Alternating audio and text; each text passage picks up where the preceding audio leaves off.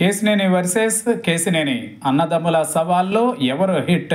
ఇంటి పేరు కేసినేని. కానీ కసినేని అని మార్చుకుంటే బెటర్గా ఉంటుందేమో. అన్నదమ్ముల మధ్య ఆస్తి వివాదాలు మాత్రమే కాదు రాజకీయ విభేదాలు కూడా తీవ్రంగా ఉంటాయని ఈ బెజవాడ బ్రదర్స్ను చూస్తేనే అర్థమవుతుంది. ఇద్దరూ ఒకే పార్టీలో మొన్నటి వరకు ఉన్నారు. కానీ ఇప్పుడు వేర్వేరు పార్టీల నుంచి ప్రత్యర్థులుగా బ్రదర్స్ బరిలోకి దిగుతున్నారు. వారే కేసినేని బ్రదర్స్. కేసినేని నాని కేసినేని చిన్ని. ఈ ఇద్దరు పేర్లు వేరైనా బెజవాడలో ఫేమస్గా వినిపించే పేర్లు మాత్రం ఇవే. ఇద్దరు మొన్నటి వరకు తెలుగుదేశం పార్టీలో ఉన్నారు. కానీ నేడు ఒకరు వైసీపీ అభ్యర్థిగా మరొకరు టీడీపీ అభ్యర్థిగా విజయవాడ పార్లమెంట్ బరిలో పోటీ చేసి తమ అదృష్టాన్ని పరీక్షించుకోవాలనుకుంటున్నారు. కేసినేని ట్రావెల్స్ అంటే రెండు రాష్ట్రాల ప్రజలకు తెలుసు.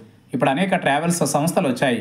కానీ పంతొమ్మిది వందల తొంభైవ దశకం నుంచే కేసినేని ట్రావెల్స్ అంటే అందరికీ సుపరిచితమే. ఏసీ బస్సుల నుంచి స్లీపర్ కోచ్ల వరకు తొలుత ప్రవేశపెట్టిన బెజవాడ మార్క్ ఇది అని ట్రాన్స్పోర్ట్ రంగంలోనూ వీళ్ళు సత్తా చాటారు.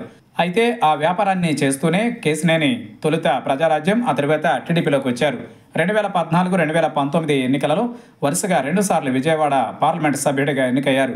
రెండు వేల పంతొమ్మిది ఎన్నికలలో రాష్ట్రంలో మూడు స్థానాలు మాత్రమే టీడీపీ గెలిస్తే అందులో విజయవాడ పార్లమెంట్ మాత్రం ఒకటిగా నిలబెట్టింది కేసినేని నాని.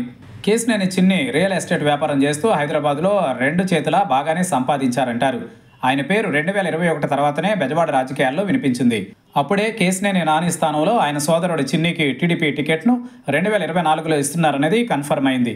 అప్పటి నుంచి విజయవాడ పార్లమెంటు నియోజకవర్గంలో కేసినేని నానికి వ్యతిరేకంగా ఉండేవారిని కూడగట్టి నారా లోకేష్కు దగ్గరై పార్టీలో పాతుకుపోయారు. చివరకు పార్టీ ఆయన వైపే మొగ్గు చూపింది. దీంతో కేసినేని నాని టీడీపీకి రాజీనామా చేసి వైసీపీలో చేరి విజయవాడ టికెట్ను సాధించుకున్నారు. తనను ఓడించాలంటే చంద్రబాబు కూడా సరిపోడన్న ధీమాలో కేసినేని నాని ఉన్నారు.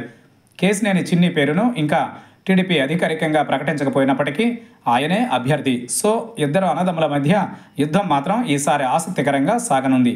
పదేళ్ళు పార్లమెంటు సభ్యుడిగా ఏడు అసెంబ్లీ నియోజకవర్గాల్లో తనకంటూ ఒక వర్గాన్ని ఏర్పాటు చేసుకున్న కేసినేని నానికి వైసీపీ ఓటు బ్యాంక్ అదనపు బలంగా మారనుంది. అదే సమయంలో విజయవాడ పార్లమెంట్ నియోజకవర్గంలో టీడీపీ బలంగా ఉండడంతో పాటు జనసేన టీడీపీ బీజేపీ కూటమిగా ఏర్పడడంతో కేసినేని చిన్ని ఫుల్ ఖుషీగా ఉన్నారు. మొత్తం మీద ఇద్దరు బెజవాడ బ్రదర్స్ మధ్య పోటీ మాత్రం రాష్ట్రంలోనే ఆసక్తికరంగా మారింది. ఎవరు గెలుస్తారన్న దానిపై తీవ్ర స్థాయిలో బెట్టింగులు కూడా ప్రారంభమయ్యాయంటున్నారు.